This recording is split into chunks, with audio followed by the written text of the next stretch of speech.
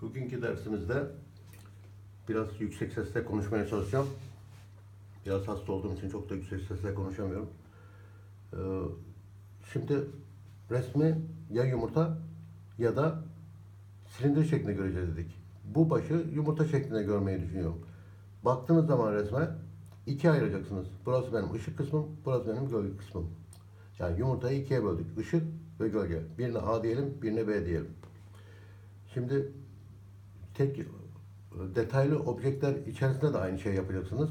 Orayı da bu sefer e, yumurta veya silindir şeklinde göreceksiniz. Mesela burnun şurasını silindir şeklinde görebilirim. Veyahut da tamamını yumurta şeklinde görebilirim. Ya yumurta ya silindir dedik. İster ağaç olsun, ister ağacın gövdesi olsun, ister bir dal olsun. Ne olursa olsun ikisinden birini tercih edeceksiniz. Şimdi ışık ve gölge olarak ayırdık. Işığın dikkat ederseniz niye paletteki dört tane rengin en koyusunu seçtik değil mi? Işık şeyinden. Neden? Çünkü daha açık, daha açık, daha açık diyerek en son beyaza kadar yükseltiyoruz. Gölge kısmında da tersine yükselten koyudur. O yüzden en açıktan başlayacağız. Daha koyu, daha koyu, daha koyu gideceğiz. Yani o dönüşlerdeki en tepesi en koyu kısmıdır. Aydınlık kısmında da en tepesi en aydınlık kısmıdır. Bu mentaliteyle düşündüğünüz zaman e, resmi yapmakta daha kolay netice alırsınız. Düştü.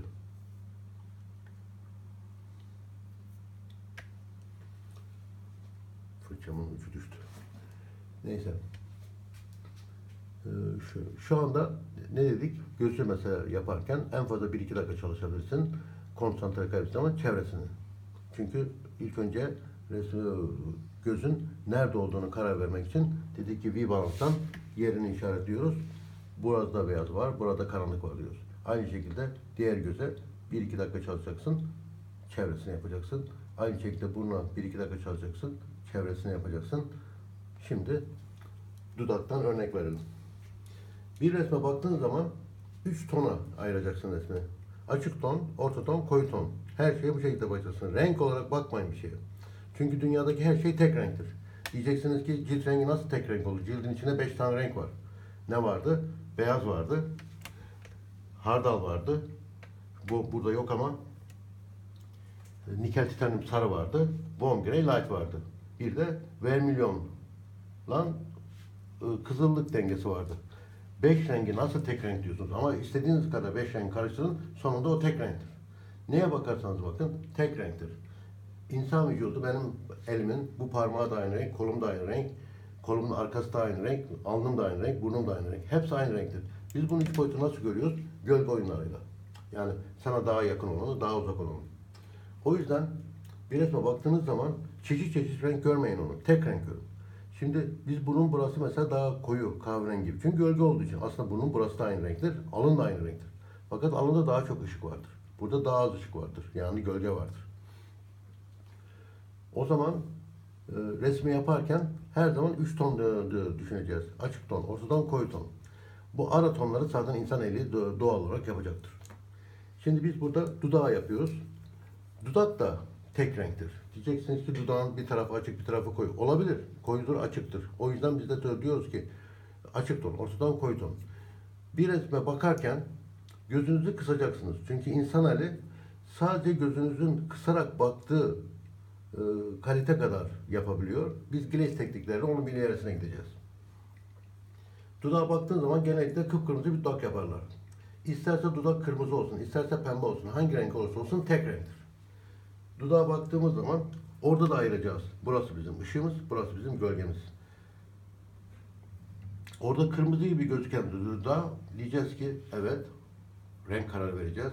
Orada dudak pembe gibi veya da kırmızı gibi onu yumuşatacağız. Burası ışık kısmımız.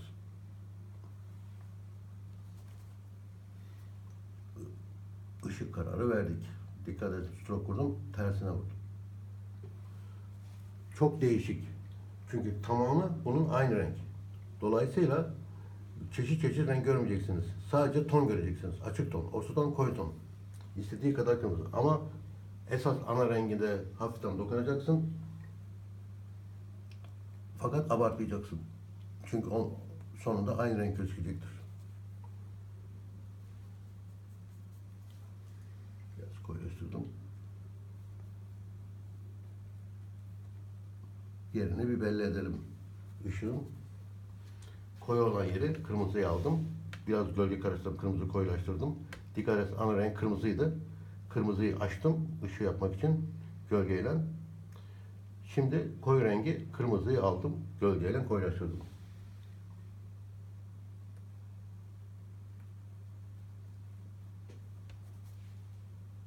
Kırmızıyı aldım, gölgeyi aldım. Bir an önce oraya buraya sürüyor ki ileride çalışabilelim diye. Şimdi sınır. Bir dudağı yapamamanın en büyük önemli önü sınır yapması. Sınır yapmayacağız. Hafiften gölge rengini burada aldım. İçeriye şeyi çizgiyi kırmaya çalışıyorum. Çünkü biliyorum ki tamamı aynı yüzeyde. Tersten de yumuşattım.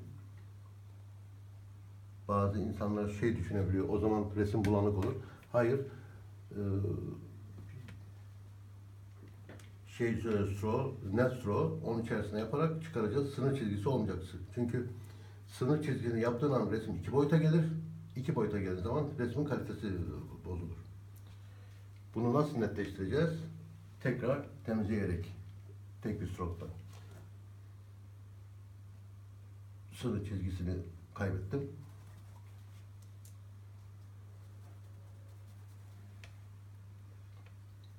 Buradan var. Sınır çizgisini kaybettim. Aşağıdan çiz- çizgisini kaybettim.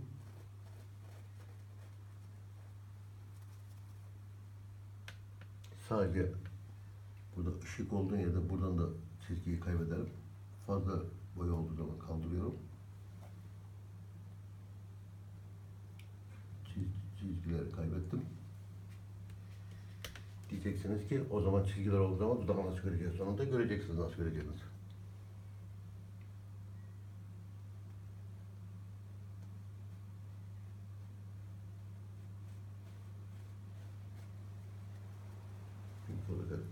Şimdi araya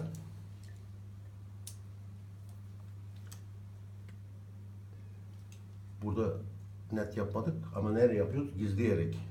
O tonun içerisine gizleyerek netleştiriyoruz resmi. Takip etmiyoruz çizgiyi. Bir şeyde sınır çizgisini takip ettiğin zaman resim iki, boy, iki boyuta gelir. İki boyut olarak da gözükmez. Resim sadece karışık gözükür.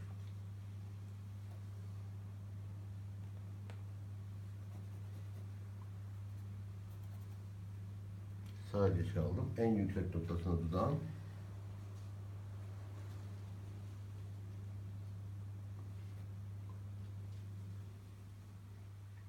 Tekrar deneyelim.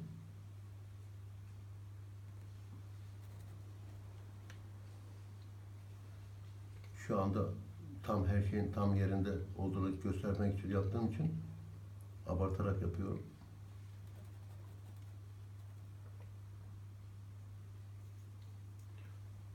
Orta tonun yerini belli edelim.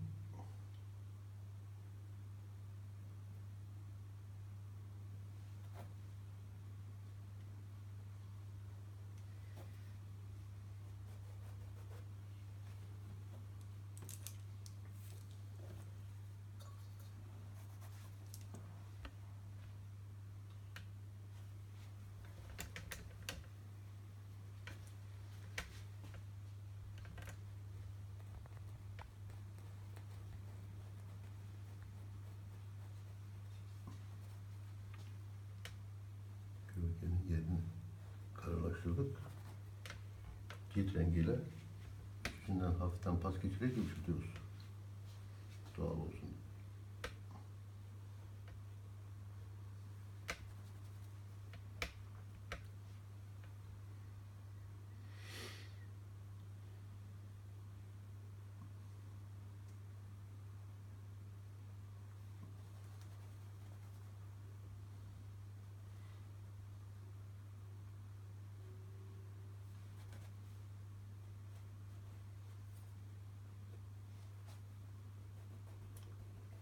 Şeyden internette kaybettiğim için resim çok fazla kurudu.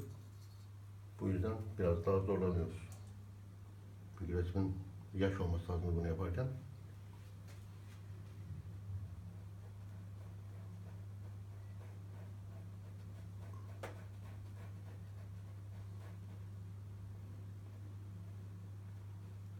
O yüzden biraz zorlanıyorum. Hafiften gel aldım çünkü resim çok fazla kuru.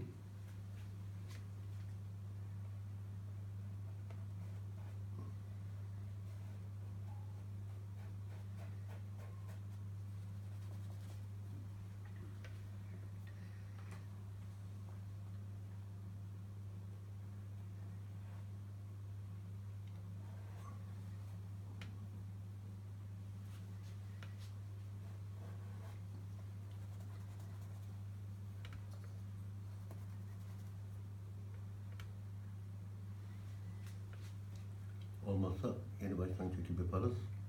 Çünkü internetin kesin, kesintiye uğramasından dolayı tam istediğimiz olmuyor. Resmi fazla kuruttuk.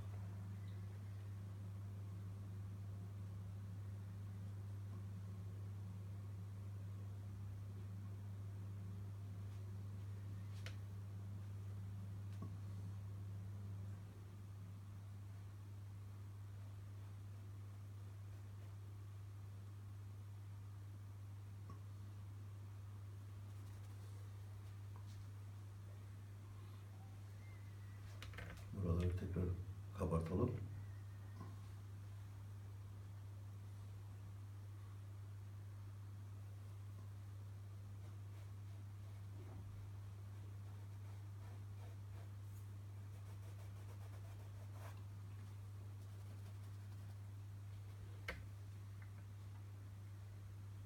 En tepeye tekrar daha kalın boya sürerek kapatıyoruz.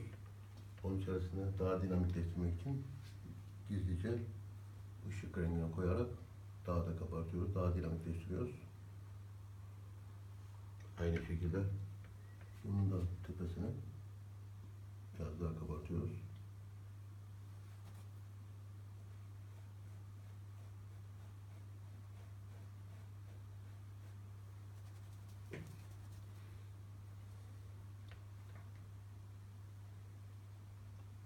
Burayı biraz daha kapatalım.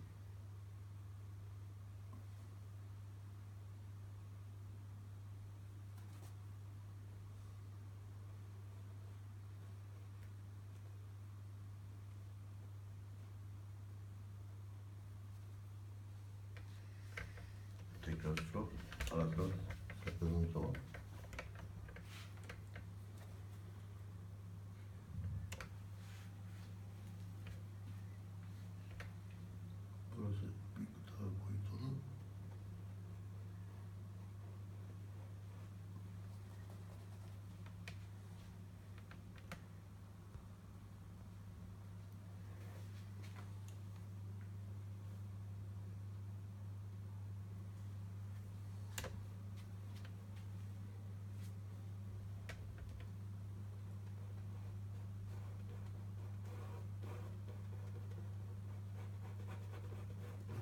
Şimdi bir atmosfer atıyoruz. Yükselen yere tek stroke.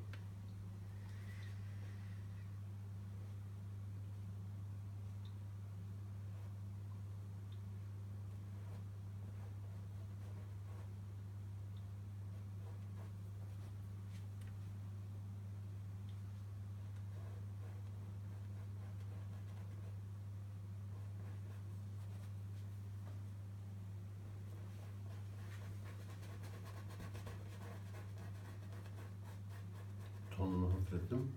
Aynı atmosferde olsun diye. Bir araya geçiyoruz çok hafif.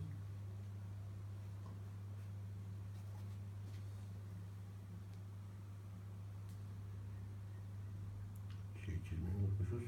İnşallah.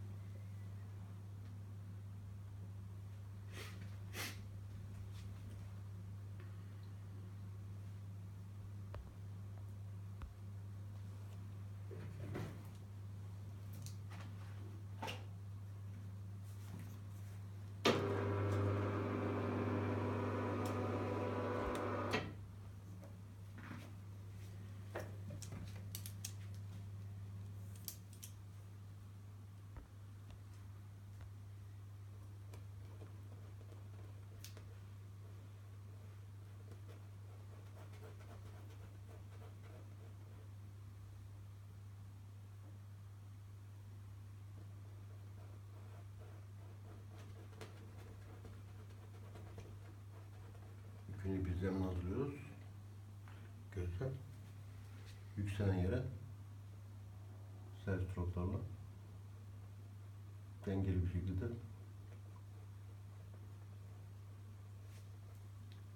zemin hazırlıyoruz. Zemin hazırladıktan sonra kapatmaya başlıyoruz.